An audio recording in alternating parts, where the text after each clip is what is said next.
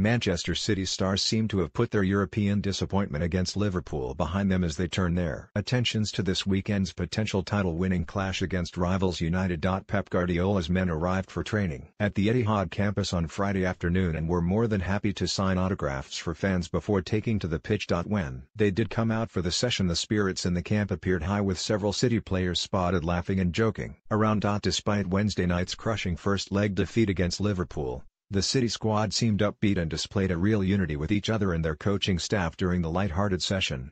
Brazilian trio Fernandinho, Gabriel Jesus and Danilo were snapped messing around with Guardiola's co-assistant Brian Kidd. While Leroy Sane, Tosin Adarabioyo and Kyle Walker were all seen laughing with their hands around each other and Kevin De Bruyne shared a joke with kit manager Michael Clitheroe. One player who missed the Champions League loss at Anfield through injury was Sergio Aguero but he was back on the training pitch on Friday and could be ready for a starting berth this weekend. City are just one win away from a historic title triumph and have the opportunity to tie things up against their fiercest rivals. Despite this, the City players seemed relaxed and confident as they were put through their paces a day before the match. If City win Saturday evening's derby they will secure the Premier League trophy with six games still to play. They would also be 19 points ahead of United, who hold the Premier League record title winning points margin of 18 and would join an exclusive club of teams who have beaten either a local or title rival to guarantee the trophy.